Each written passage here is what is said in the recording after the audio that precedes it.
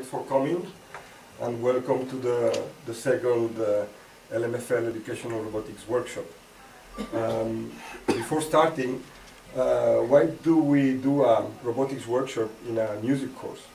Well, this can seem like a crazy idea, and uh, but uh, two years ago, actually, yes, two years ago, uh, when I went to pick up rock at the LMFL uh, music course, I was talking to Arlette and uh, she asked me what I was doing. So this is my fifth year teaching educational robotics in, in Spain. And she told me, why don't you do it at LMFL? So at the beginning it seemed a little bit, uh, you know, at least uh, strange. but if you think about it, uh, there's many people that have like um, um, musical mind, uh, which is also mathematical and uh, chess. So there's the same uh, type of intelligence. there's many other people that are very good musicians that, that may have different types of minds. But there is a lot of students that are very good at math and music. So the course is especially useful for this, uh, for this kind of uh, uh, students as well as for any other student. And you know, I, I, was hesitating of whether I show you, showing you different images before we start so as you understand better what's in the back of uh, educational robotics. Uh, but the idea is that to, to promote creative thinkers. So, um, okay.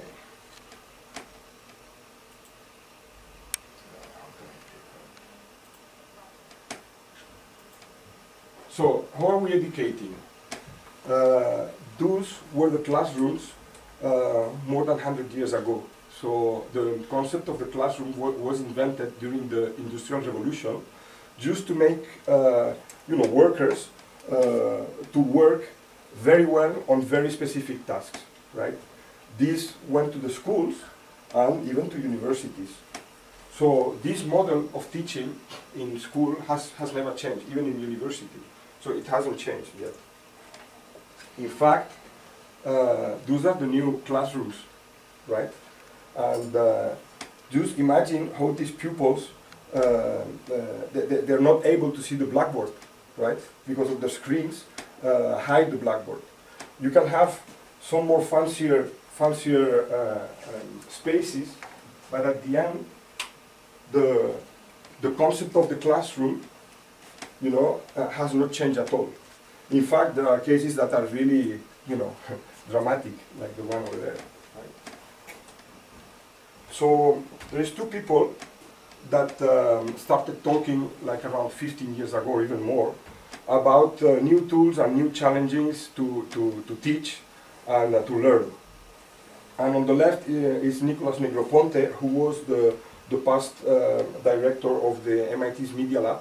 And on the right is Mitch Resnick, uh, who, is, uh, who works at the Media Lab and very closely uh, uh, with Le the Lego group.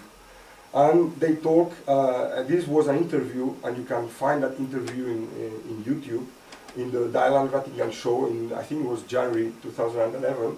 And it's very interesting because it's a very short interview and they speak about this new way of learning. And what they say is that uh, uh, um, we have to recover uh, the kindergarten, what they call the spiral approach to learning. So basically what they say is, is it's very important to create uh, creative thinkers and to uh, make students uh, more passionate towards technology and uh, mathematics and uh, to give them challenges so as they work, um, so as they are not basically bored and they learn faster. So this is what they call this spiral approach uh, this is you imagine, you create, you play, you share what you've done, you reflect on that, and then you start imagining creating. So they, this is the spiral, the learning spiral. And what they say is that this model has to be applied everywhere, even at university. In fact, there is companies like uh, Google uh, that they have playing rooms, and they have their technicians when they when they have to make a project, they uh, they um, technicians get together and they, they play different games just um, you know to think about different projects. So, uh, what are the goals? So the idea is to promote the sports of the mind and uh, um, um, Mitch Resnick, the person on the right in the image uh, before, uh, his um, uh, teacher was uh, Seymour Papert, um, a quite famous linguist. He is also working, or was working, at the MIT Media Lab. And uh, uh, one thing he says, uh, Papert, in his Mindstorms book, he wrote it 15 years ago, which is debugging, which is the, the act of deprecating a computer program, is the essence of intellectual activity. So here there's an example of, of how you can uh, mix uh, different disciplines, in this case music. Those were eight robots that were, uh, that were, were built for the RoboCup Junior. And um, the team won two prizes at um, last year's um, international world competition. Uh, they got the uh, best world team in the use of sensors and best uh, super team. The teams, the last day of the competition, there are teamed in super teams. Uh, and they were teamed with, um, uh, I think it was a Singapore team and an Australian team. And in less than 24 hours, they have to reprogram all the robots. Uh, they have to um, uh, build new robots and um, choose a different music and build a new choreography. So here you see four robots playing, uh, playing four xylophones. Uh, then one robot playing the percussion with two maracas, one tambourine, and one uh, bell, and three robots playing the piano, uh, two playing the white notes and one the, the black notes. So, and the, this started uh, being like a, like, a, like a class exercise. Uh, the exercise was um, how to build um, a program that can be read by a musician. And here you have the program. Uh, it uses a graphical interface, and they will explain you a little bit more in detail the program we used to pro program these robots. And here you have uh, the, the, the, musical note on top, and underneath it's time. Uh, so by actually changing this pattern, you can make new songs. And this is why, in, in, you know, I think it was in three, four hours, they were able to make robots uh, to do a completely different song. And it was, I think it was the first time that the RoboCup Junior, the robots were playing uh, um, the tune themselves. Usually the tune is pre-recorded. Anyway, the idea also is to promote collaboration and that students share their, their own knowledge. Um, to make them work in teams. It's very difficult when they are young to make them work in teams and uh, to, make, uh, uh, to make them use mathematics, physics, but in a very um, um, applied environment and very dynamic and that challenges them and they are very interested about, um, about it. Uh, so this was in, in Istanbul.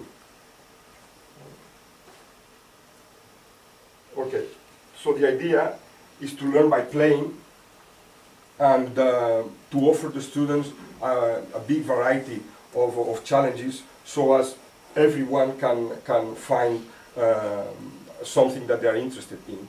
Um, it was it's very interesting because like around seven years ago, uh, um, German people made a study uh, about why uh, girls were not interested about technology.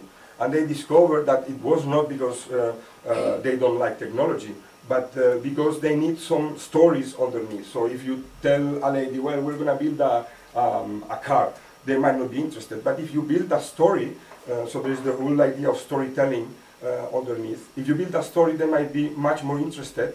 And not also, not also girls will be more interested, but also boys will get more interested. It's very funny because sometimes we say, okay, we're going to build a robot. A boy will take the pieces, and start again.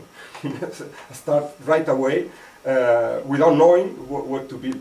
So for girls it's more difficult. So uh, here, for example, you see um, one of the challenges, which is the soccer, where two robots play against two other robots. Uh, the ball has infrareds, and the robots follow these infrareds. And here, this is the, the rescue challenge. So there is a like um, there are like three rooms uh, with different challenges, and the robot has to follow a line, um, you know, go over obstacles, uh, climb a ramp, etc. There is a victim on top.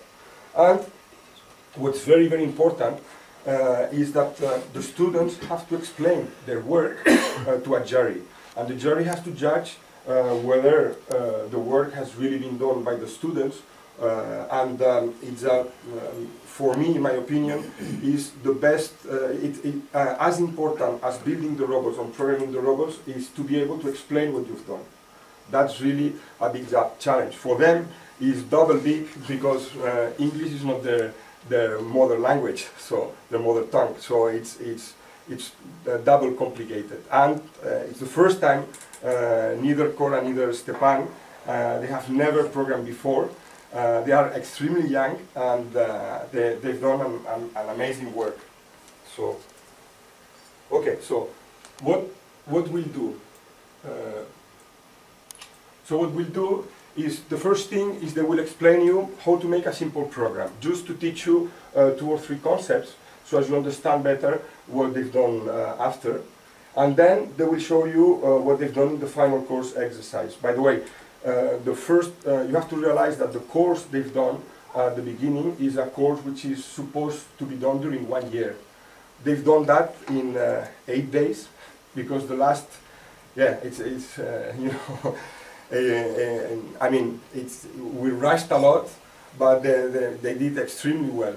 So, uh, you know, um, the, the course is very intensive and uh, uh, I always um, um, use the five days, uh, four, five last days to build a course exercise.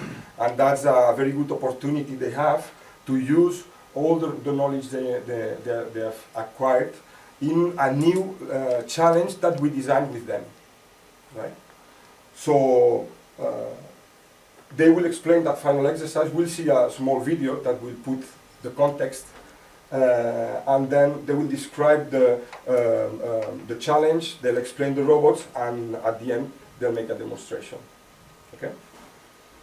So, Stefan.